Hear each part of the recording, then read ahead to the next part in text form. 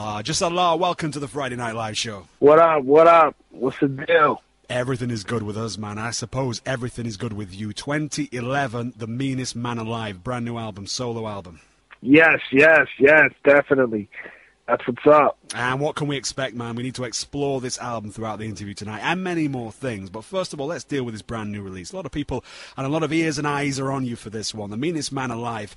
This has really got to keep up that excellent, superb standard that the Jedi Mind Tricks and, of course, Enemy Soil is all known for. Is it going to do that? Is it going to deliver as people expect? Is this going to be hardcore, banging, raw hip hop from start to finish, or can we hear many different sounds throughout this album? Talk to us about this brand new album, man. Oh man, this is gonna be that straight up boom bap stuff, man. Like, it's it's just gonna be hip hop at its finest. You know what I mean? Like, like lyrics, beats. It, it's gonna be all that. You know what I'm saying? Like, I'm re- I'm really like making sure that this project comes through like exactly how I want to execute it. You know what I mean? Like, if anyone could do it, it's us. You know what I mean? Like, we're the ones that's been holding it down for a minute now, just independently on the underground scene, like Jedi Mind Tricks. You know, like we we we stuck with it. You know, like this is like what's in us.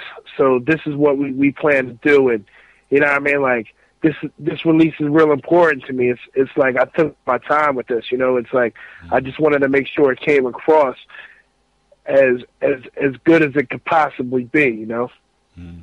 this is my art here. Of course it is. It is your art, man. And like you say, uh, this has got to be the best that it possibly can be. You can't let the team down, in, and nobody in your team can do this. Anybody from your team I'll be talking to, I'll be asking the same thing about the solo album. You know, there's a certain grade A standard that's got to be achieved. Now, who's going to help you then with this, John? Who's going to help you achieve that album, uh, that goal? I mean, are we talking Stoupe on the boards on this album? Is he up on here? Nah, Stoupe's not on this one. You know, uh, I, I didn't go with Stoupe. I went with uh my boy uh C Lance, who who's on the Vinnie Paz album. Stu Bangas, who's who's worked with a couple on Army of the Pharaohs dudes. You know, like Sicknature, who we worked with in the past before. You know, a lot, a lot, a lot of the dudes that work on the Army of the Pharaohs stuff. They like the top dudes from from that. Like, you know what I mean? Like I'm pretty much just working with them to try to like mold this album together.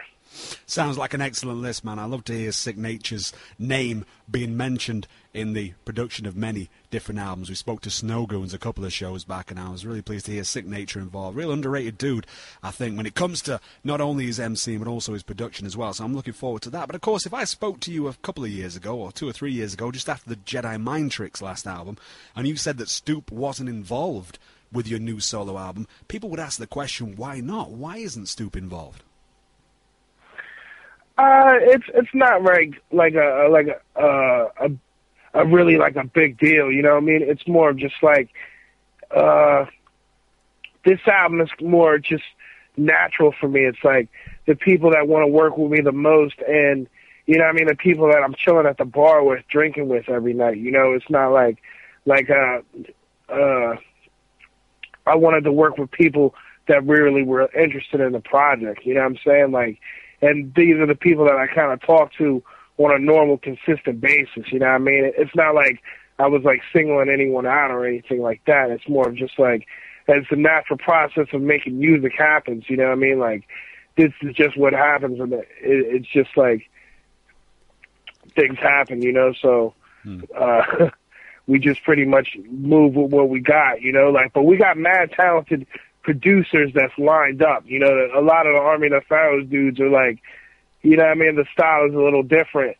And, you know what I mean? It, you, you don't really want to, uh, get labeled with a certain sound. You know what I mean? Like, we kind of just want to keep raw hip hop, just be known for always being good at everything. You know what I mean? Not just staying in one pocket. You know what I mean? Absolutely, man. Now we spoke a little bit about the sonics and the production of the album. What about the the the words and the voices on the album? Who is guesting up on this joint? Who have we got from from your team, from the family? And are there any features that people might not expect up on this new joint?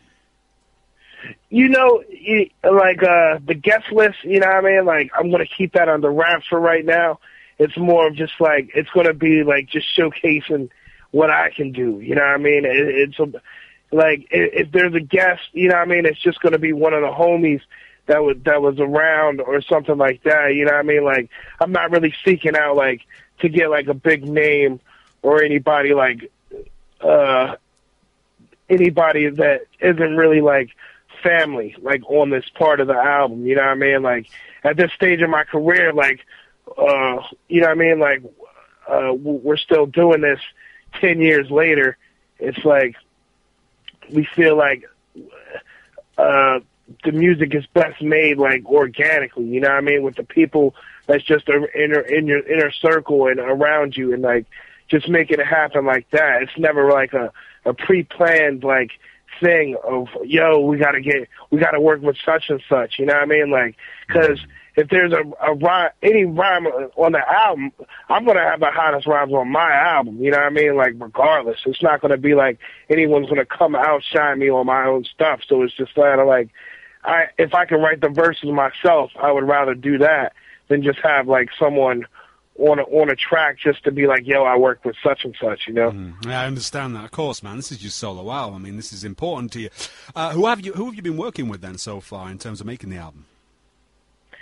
Pretty much just staying in contact with the producers I mentioned. You know, me and Stu Bangas, C Lance, Sicknature, like I'm pretty much just it's just raw bones. You know what I mean? Like I got a couple. I got a, a DJ I'm working with. You know what I mean? Like we're gonna come up with some, some kind of concept for it or whatever. You know, everything is gonna just.